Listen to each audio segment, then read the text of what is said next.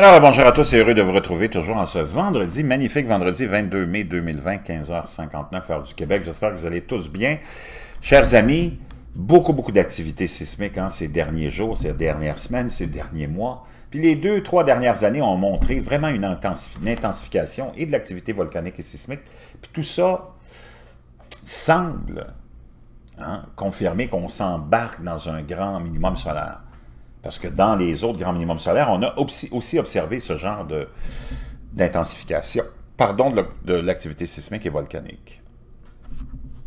Il y a quelque chose d'assez euh, intéressant qui nous vient de Strange Sound, mais aussi très inquiétant. Il y a une activité sismique très anormale qui inquiète les scientifiques en Corée du Sud car elle pourrait être le signe d'un tremblement de terre majeur et très destructeur.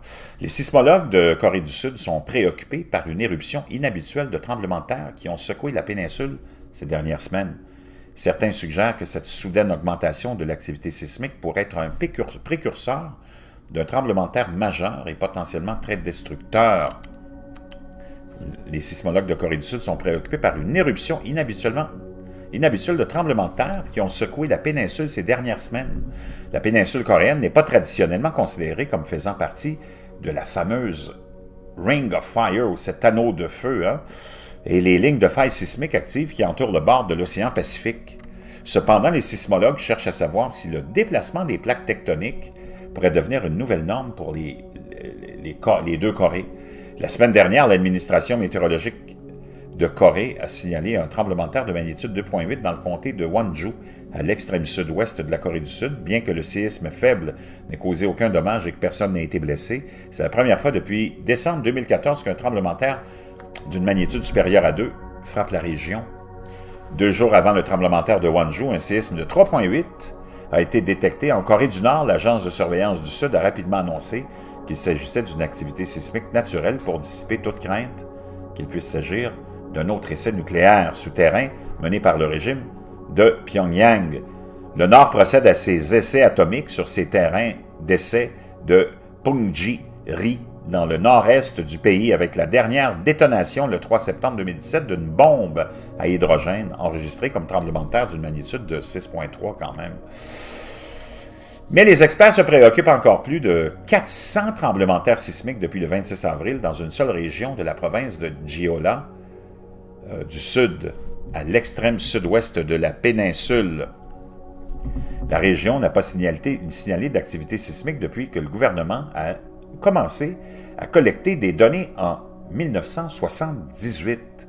Les experts admettent qu'ils ne savent pas avec certitude ce qui déclenche l'activité, mais il existe certaines théories sur la raison pour laquelle elle augmente dans la péninsule. Nous suivons de près les événements du Géola du Sud car ils sont très inhabituels et se sont produits en très peu de temps, a déclaré Hong Ti professeur de sismologie à l'université Yonsei de Séoul.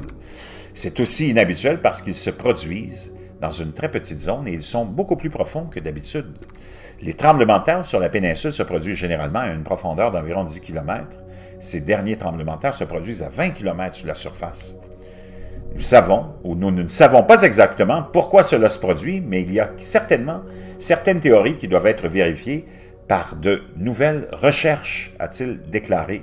Ma spéculation personnelle est ce que nous voyons sur ce que nous voyons maintenant est le résultat du tremblement de terre de Tohoku en mars 2011 au Japon, également connu sous le nom du grand ou de grand tremblement de terre du Japon oriental.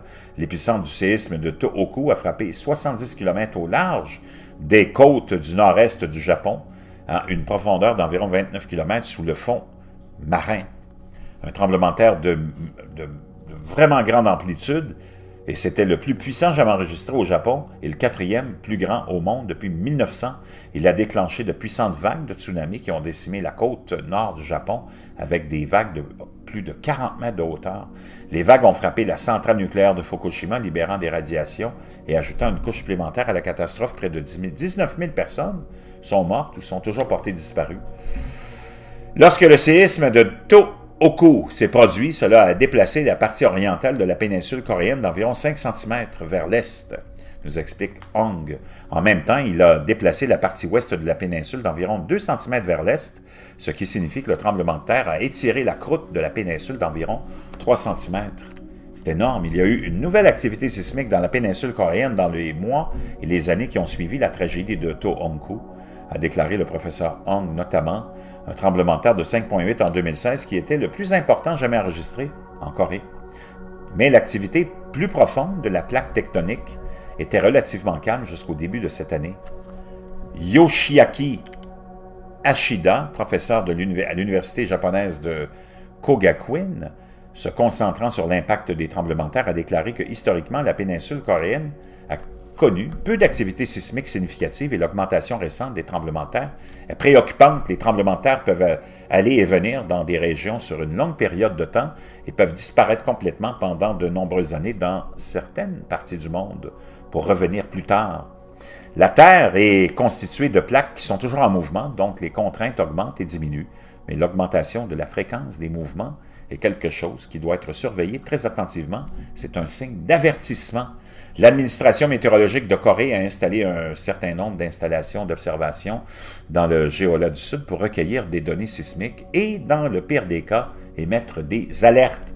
Le professeur Hong dit que même s'il n'y a pas eu de tremblement de terre vraiment dévastateur depuis un siècle, les documents historiques montrent que la péninsule n'est pas complètement à l'abri d'un tremblement de terre majeur qui pourrait causer des dommages et des pertes de vie considérables.